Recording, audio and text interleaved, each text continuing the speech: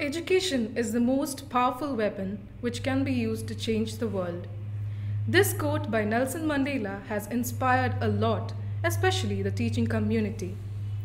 The best teachers do not point the way, they just show the direction and make us take our choice. Peet Memorial Training College is a pioneering teacher education institution which was built in 1960 in memory of a great missionary, Reverend Joseph Peet, who had made various changes in the society. Great personalities like him have created lots of changes and impeccable transformations in the society. Amidst us, we have one such personality and who is very well known in the society. The deputy moderator of the Church of South India, the Bishop of Madhya Kerala Diocese, and the manager of our college, Right Reverend Thomas K. Oommen. Welcome, Bishop. Thank you for being here and spending some time with us.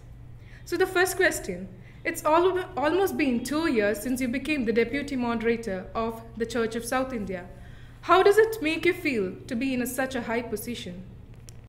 Being the moderator of Church of South India, I consider this as a great privilege because Church of South India is a great church spread over all the five states, southern state, and also is a missionary movement. Church of South India is the result of the mission movement in India.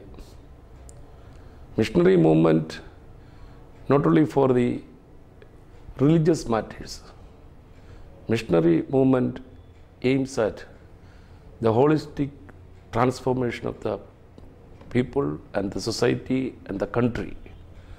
So this church, even now, church has giving much importance and emphasis on this field.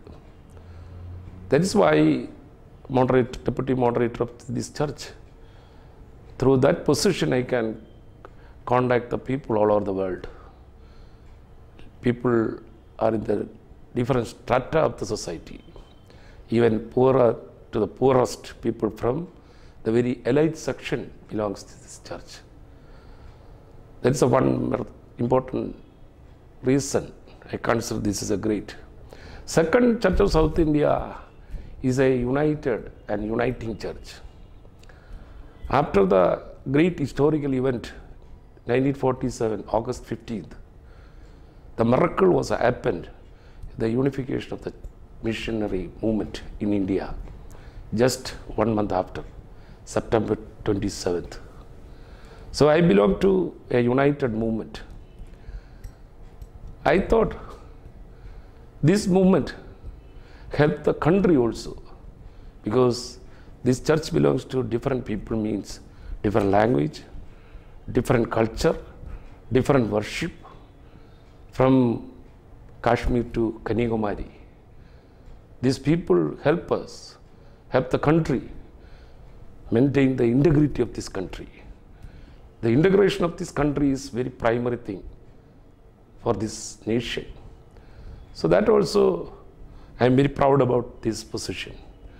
Deputy moderator of this church means even now I am the leader of this church means not leader of the position, leader of the conviction and commitment of the people.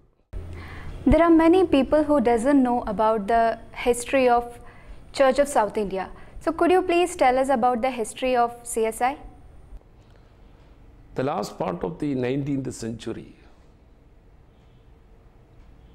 1800 onwards, after the revival and reformation and renaissance, the movements started in the West.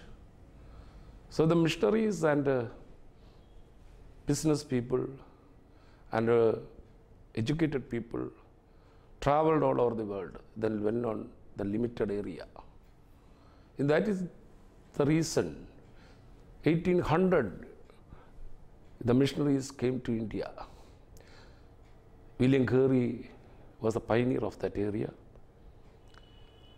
Another CMS missionaries, Calcutta, Madras, Punjab, Kerala,